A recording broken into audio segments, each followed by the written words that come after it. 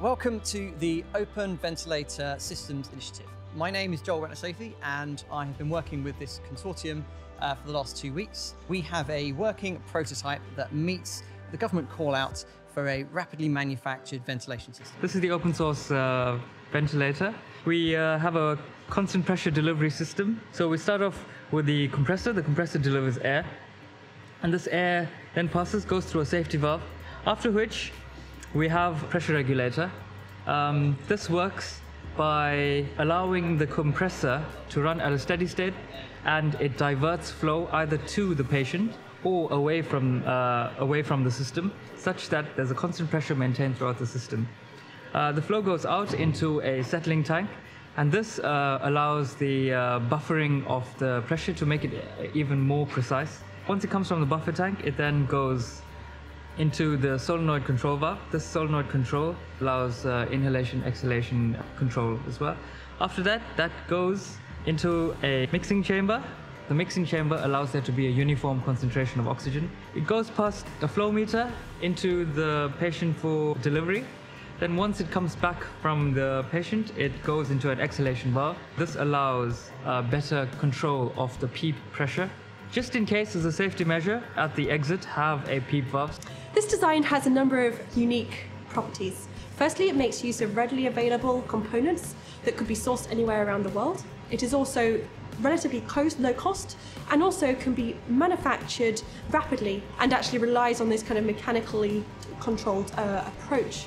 And this is interesting for a number of reasons. Firstly, we're looking at how we can actually minimize the effort and the time to meet regulatory standards. Um, so by using widely available parts, this is possible, and also by using this mechanical control approach. And the other important component is actually thinking about can we use parts that can be sourced around the world. So this allows it not just to be used perhaps in the UK, um, but also anywhere in the world where you might have even uh, fewer ventilators, and it is actually increasingly harder to access the technologies and manufacturing capabilities. So we're looking not just at the design, but how we need how this maps to both the, uh, the supply chain, the regulatory issues, and also how this can be manufactured and actually distributed to the people that need it most. What I normally do is research new fluid mechanics for jet engines and gas turbines, trying to improve efficiency. But what I've been helping this team on, on the ventilator project, is deal with some of the fluid dynamics problems in it. The design that we've come up with is inherently safe because of its simple architecture and its mechanical control. And what I've been doing in that is designing some of the components so that we can regulate the pressure to very precise and stable values so that then it can be delivered to the patient very reliably. So this means that we can use it both in the UK and in other countries where it might be harder to maintain or get hold of more complex and expensive components. So another aspect of the design of this ventilator system is that because it's so simple, it makes it very cheap to make all of the parts.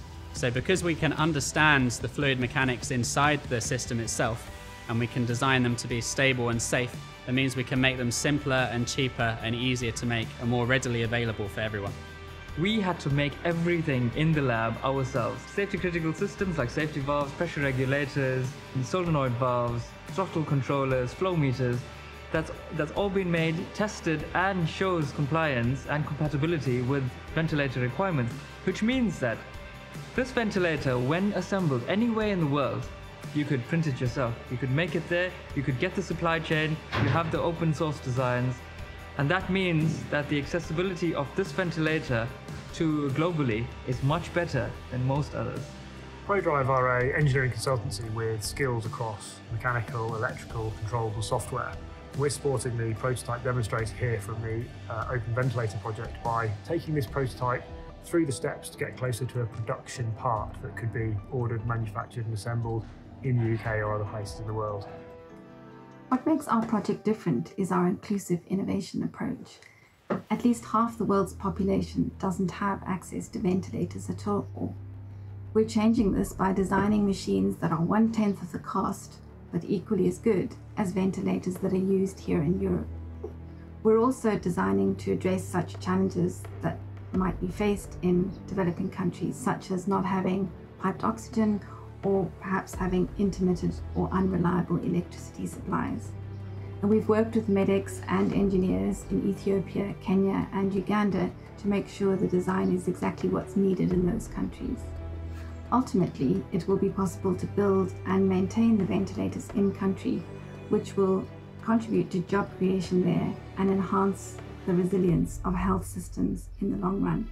The project that I'm involved with, colleagues from Cambridge, is really awesome. In Africa, we have a phrase called Ubuntu, which means togetherness and being one.